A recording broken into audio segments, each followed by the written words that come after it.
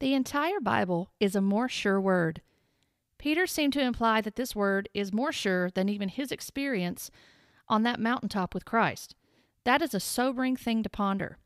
Experiences can be a powerful thing, but as believers in Christ, experiences will not supersede the more sure prophetic word, and that word is the Bible.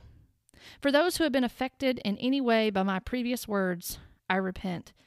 I was sincere in those times, but I was sincerely wrong. I was a false prophet, but thanks be to God for His mercy and grace. I now know the truth. That is my prayer for those who will read my blog, and may God get all the glory. You just heard an excerpt from my latest blog post featured on Lovesick Scribe.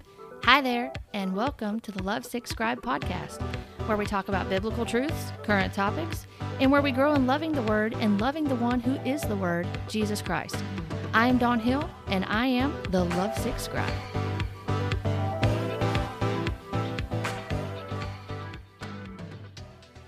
I want to read with you several verses in 2 Peter, beginning with verse 16. I'll be reading from the ESV. Peter says, For we did not follow cleverly devised myths when we made known to you the power and coming of our Lord Jesus Christ, but we were eyewitnesses of his majesty. For when he received honor and glory from God the Father, and the voice was borne to him by the majestic glory, this is my beloved Son, with whom I am well pleased. We ourselves heard this very voice borne from heaven, for we were with him on the holy mountain. And we have something more sure, the prophetic word, to which you will do well to pay attention as to a lamp shining in a dark place, until the day dawns and the morning star rises in your hearts. Knowing this first of all, that no prophecy of Scripture comes from someone's own interpretation. For no prophecy was ever produced by the will of man but men spoke from God as they were carried along by the Holy Spirit. This passage right here, these these several verses, uh, came to my mind, to my remembrance, within the past week or so, and I, will tell you why. And uh, for those that have read my blog post, you'll understand where I'm coming from. And you may have even seen a Facebook Live that I did recently, uh, repenting because I was coming to the, the understanding in the past year that I was a false prophet. Uh, I ministered words that I thought that God was speaking to me, and I even pinned God's name to them, saying the Lord spoke this or the Lord spoke that. And I never tested it against Scripture. I never tested it against the, the Word of God that is the more sure prophecy, the more sure prophetic word.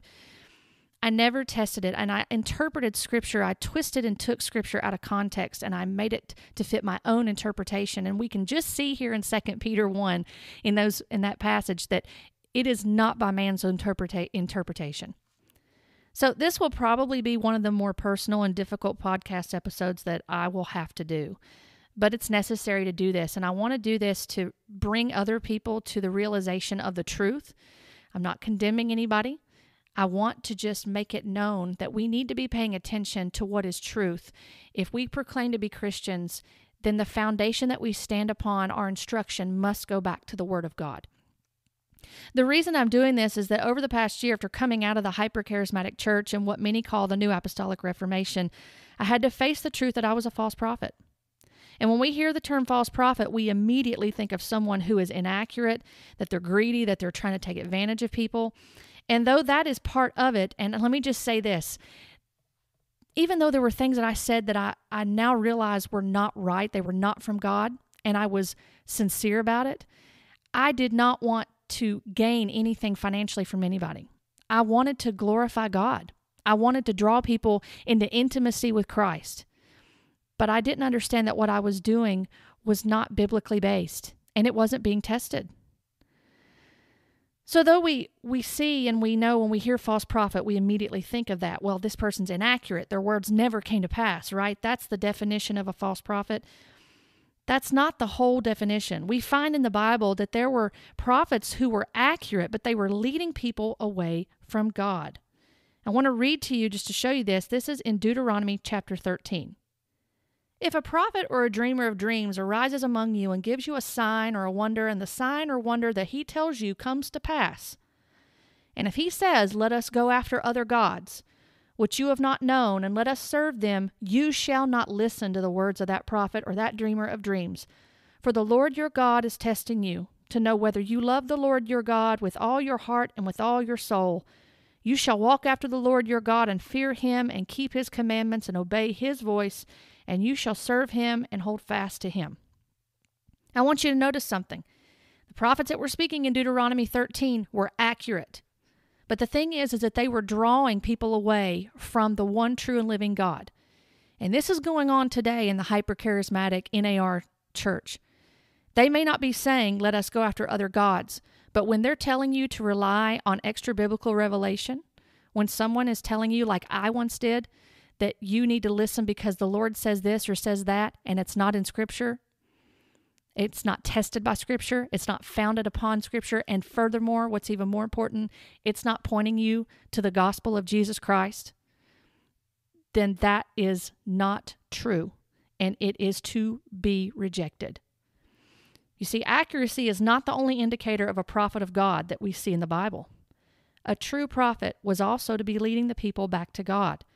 We can see this in prophets of the Old Testament with Isaiah, Ezekiel, Elijah, Jeremiah, Jonah. I mean, my goodness, Jonah even did not want, he was reluctant. He did not want to go and minister to the people of Nineveh, but he went to minister repentance. That is the core of the gospel message, the gospel when it is proclaimed. John the Baptist said it, Jesus said it. It was a call to repentance for the forgiveness of sins. They came to the people of Israel, these prophets did. They came to the people of Israel with a call to repent and return to the Lord. These men were types and shadows of Jesus, who Hebrews speaks of, saying, Long ago, at many times and in many ways, God spoke to our fathers by the prophets, but in these last days, he has spoken to us by his Son, whom he appointed the heir of all things, through whom also he created the world. That is in Hebrews chapter 1, verse 1. And this was actually in the past year coming out of this movement. That was one of the scriptures as I read that, it really confounded and started working on me and in me, realizing, wow, some of the things I've been saying, I was saying I was a prophet because that's what I was told I was by an apostle in the movement I was in. But realizing that what I was doing was not according to Scripture. So I wanted to share a little bit of this with you, what led to this podcast. And, and it's going to be, like I said, it's one of the, to be more the difficult ones that I've done. But what happened was over the past couple weeks, actually last Sunday, I received an email from someone who was thanking me for a prophetic word that a charismatic media outlet had shared. And as they were sharing this and saying it confirmed some things that, that that was going on in their life and what they were feeling and how and and what God was speaking to them, I began to really feel nauseous. I was really bothered. It was like a pit developed in the core of my stomach as I was reading this email. And it was a very nice and sincere email, but it was another realization for me that what I was doing in the past was not glorifying God. It was not proclaiming the gospel of Jesus Christ. It was not drawing people back to the one true and living God. If anything, it was pointing people back to me and, and how my words were so deep and so relevant and so mystical. And as I was reading that email, the realization hit me that this was another thing that I was going to have to repent of in my life and publicly because this was a public word that was released. So as I went to the the website or the the social media site where this this post was it was shared, I noticed in the past 24 hours this same site had shared three of my blog posts. And these blog posts were recycled words. They were not new ones that I had put out because my writing had changed over the past year because of the conviction that I had come under by the Holy Spirit. And I had removed a lot of those blog posts in the past months from my site because I didn't want people being led astray.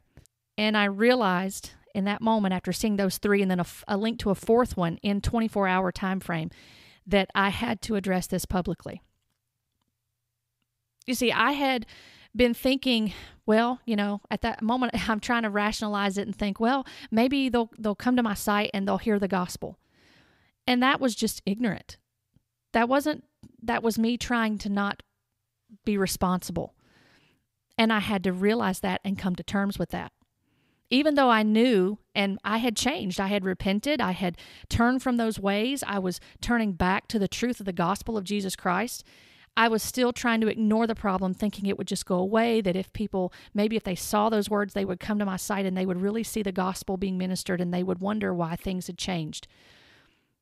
But that's not how that works. We have to be willing to admit when we've done wrong, and especially with public things like that, public ministry, that had to be addressed publicly. So I did a few things that evening. I emailed the person that had emailed me and I repented to them and apologized and said that they should not listen to any other blog post that I had done in the past like that and that they needed to get back into the Word of God. The second thing I did was I found an old email from where I had had given them permission for this media site to share my posts. And I emailed them and asked them to not share them anymore, including the older posts. And the last thing I did, which was really hard, I got on Facebook Live and I shared a public repentance to people and admitted that I was a false prophet. That's been humbling, to say the least. And coming out of a very painful and trying time last year, I studied the Word of God and I realized that what I had engaged in was Gnosticism. This is not a new practice. In fact, this was a major threat to the early church. You may not know what Gnosticism is, so I want to tell you a little bit about it. I'm not an expert, but I will share a little bit of what I know. Gnosticism is a focus on secret knowledge. It creates a superiority among people, those who hear God outside the confines of Scripture, and it provides secret knowledge and teachings that only divine people can comprehend. There also, whether intended or not, is an exaltation of this secret knowledge. There was also a focus on intimacy with Christ when I would when I would write these words or I would minister publicly. And though I talked about the importance of worshiping him and showing him reverence, in all honesty, I was being irreverent in my portrayal of him as almost like a boyfriend rather than my savior.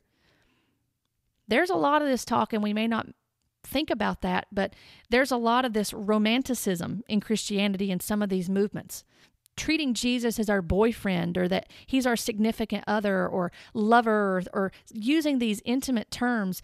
And we are being irreverent. Jesus Christ is our Lord and Savior. Yes, we are the bride of Christ, and He is the bridegroom. We are never to forget what He did for us on the cross, the finished work on the cross as our Lord and Savior, the Lamb of God that takes away the sins of the world.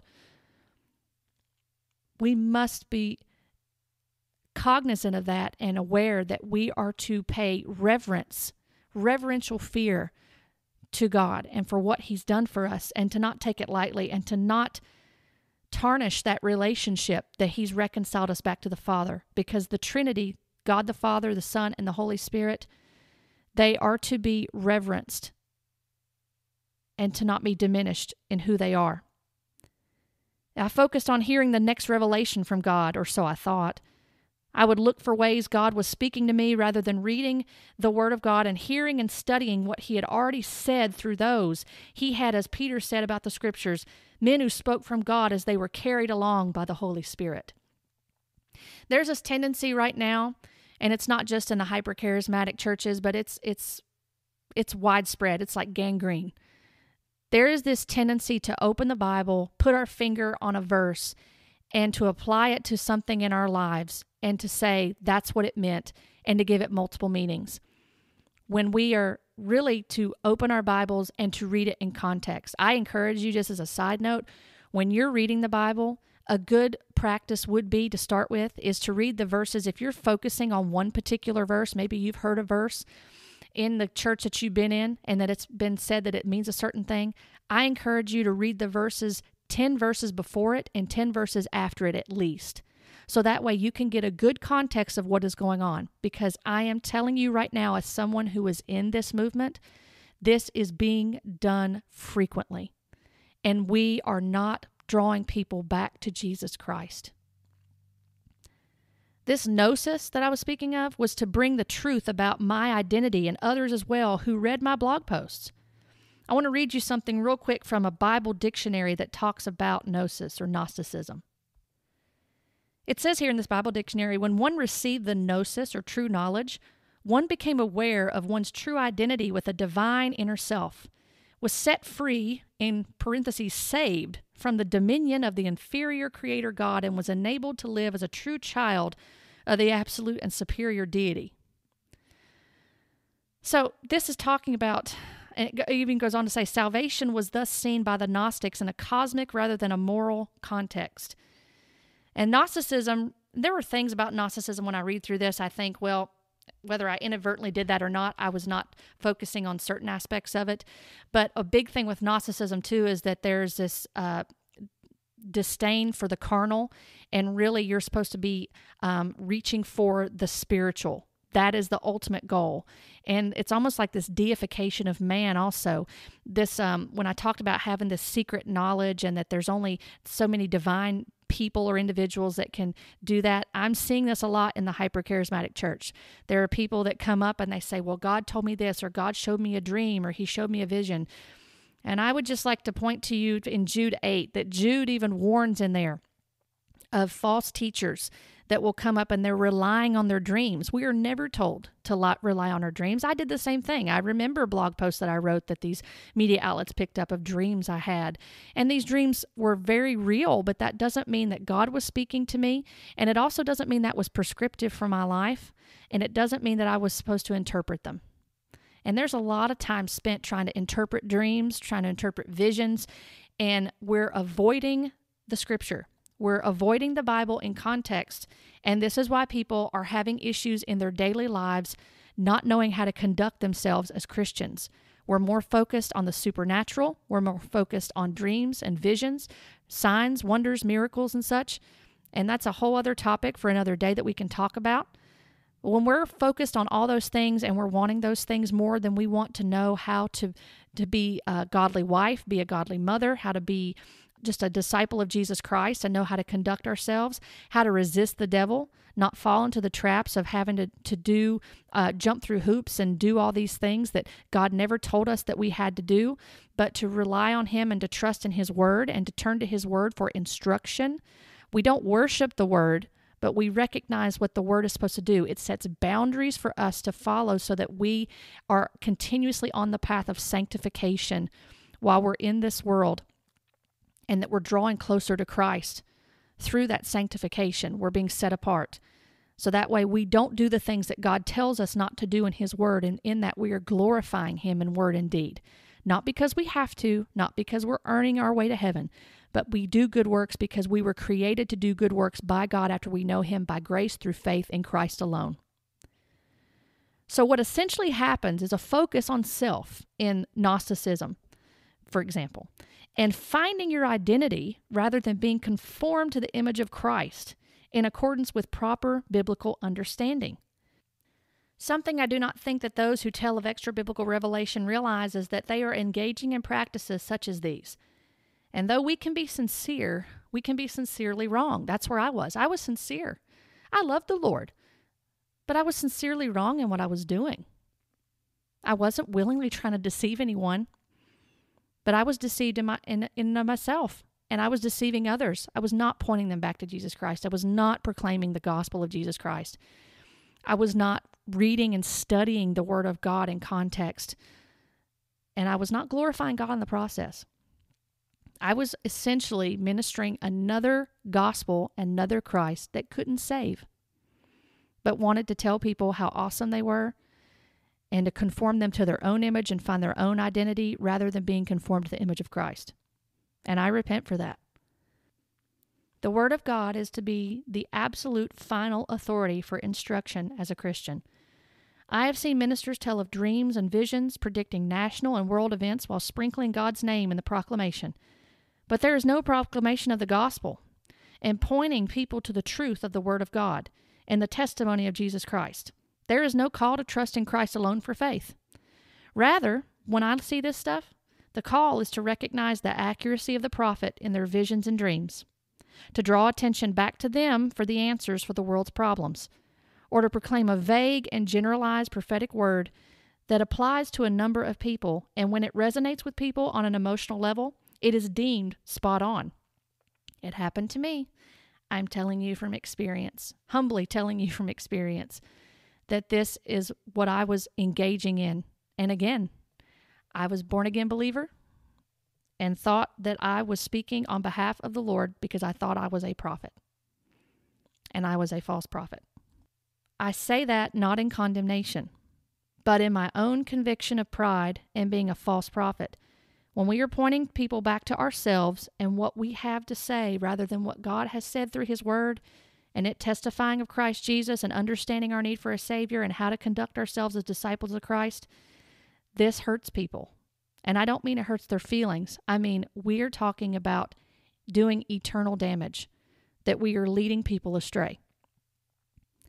Or when something is not accurate or even way off base, there is a reason or explanation given other than the truth. In the movement I was part of, people were told that they could be activated to prophesy and that it was okay to miss it. I was part of that. I remember even helping, thinking I was helping people to get activated to prophesy. You need, and telling people that you it was okay to miss it. You need to get it wrong so that you know how to tell God's voice from your own. The problem is with this is that we are telling people or implying that God is saying something when he is not in those instances, and we make God a liar. The Bible makes it clear that he is not a man that he should lie. The Bible also makes it clear that true prophets are always accurate and they testify of God. Also, for those who believe in the continuation of the gifts of the Spirit, 1 Corinthians 12 tells us that the gifts are given by the Spirit as He wills. Nowhere in Scripture are we told that we can activate gifts, that we can will them into being. It is the Spirit that gives as He wills. They cannot be activated, purchased, or imparted. I want to encourage you to study the Word of God as part of your daily walk with the Lord Jesus Christ. 2 Peter 1:19 is a beautiful passage. Peter had a great experience as one of Christ's apostles. Yet he says that there is a more sure prophetic word. And this word is not to be ignored because it is like a lamp shining in a dark place. It is not interpreted by man and based on our own understanding. He tells of this because the apostles faced issues with Gnosticism in their time and confronting this, trying to infiltrate the church. What needs to be proclaimed in the church and by the church is the gospel of Jesus Christ, the full gospel. The full gospel has a call to repentance from sin. The full gospel lovingly tells people who are unbelievers that the wrath of God abides on them as children of wrath. The full gospel ministers reconciliation by grace through faith in Christ alone. I have to tell you, I am so thankful for the mercy and the grace of God to grant repentance from sins and to right the course of my life. And it hasn't been an easy process. It has been quite painful. But it's been worth it because I got to be set free. John 8 31 32 has been a scripture that I've really held on to in this past year and meditated on continuously, and it has brought great comfort in the midst of having to realize what I was doing and what I was part of. John 8 31 32, when Jesus is speaking to those listening to him, he says, If you are truly my disciples, you will abide in my word, and you will know the truth, and the truth will set you free. And that's what happened to me over the past year. The Lord set me free from deception. I was a false prophet. And God opened my eyes to the truth and to trust in Him and not my own experiences. His word is a light to my feet and a lamp unto my path. And though there has been sorrow and contrition, there is joy in Him because the truth has set me free. And this whole time, this time of almost two decades, believing certain things that were not rooted in Scripture, God is going to redeem this time, so to speak. He's going to be glorified through it, regardless of what happened in the past. He is going to use it for His glory. And I pray that there are people that hear this that will come out of these types of movements. They will come back to their Bibles. They will return to Jesus Christ. They will come to the full knowledge of who Jesus is. I do believe that there are that there are people that are saved in these movements. But There's been deception that's come. And I pray that they will hear this, that this message will go to them. They will have ears to hear it, they will look in their Bibles, they would search the scripture to see what is the truth, and that they will be led through the truth, and the truth will set them free. Thank you for joining me on this podcast. If you would like to connect with me, you can find me on Facebook and on Instagram at LovesickScribe. And if you enjoy reading, feel free to hop on over to lovesickscribe.com and subscribe to my blog. I've enjoyed being with you today, and I look forward to our next time together as we talk about biblical truths, current topics, and we continue to grow together in loving the Word and loving the one who is the Word, Jesus Christ. Blessings to you.